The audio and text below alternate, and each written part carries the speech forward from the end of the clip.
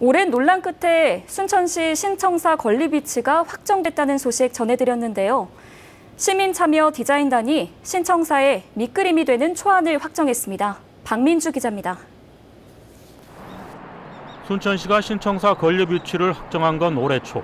지금의 청사를 기준으로 문화원 쪽 방향으로 2만 6천 제곱미터를 매입해 신청사를 건립합니다. 신청사 시민 참여 디자인단은 공원 개념이 도입된 청사의 초안을 제시했습니다. 행정과 의회, 시민동으로 나눠 신청사의 세개 동을 만들고 쟁점이 됐던 현재의 청사는 역사공원으로 조성하기로 했습니다. 가장 핵심적인 것은 공원 같은 청사를 하고 싶다라는 얘기가 강했던 것 같아요. 시민들이 여기서 어, 공원처럼 누리고 커뮤니티를 음, 나눌 수 있는 그런 청사를 했던 것 같습니다. 특히 주목을 받은 부분은 신청사 옆에 5천 제곱미터를 매입해 생활 SOC가 결합된 시민동을 조성하겠다는 계획입니다. 지하는 홍수 저절용 저류지가 들어서고 지상은 문화와 체육, 도서관이 있는 복합 공간으로 만든다는 겁니다.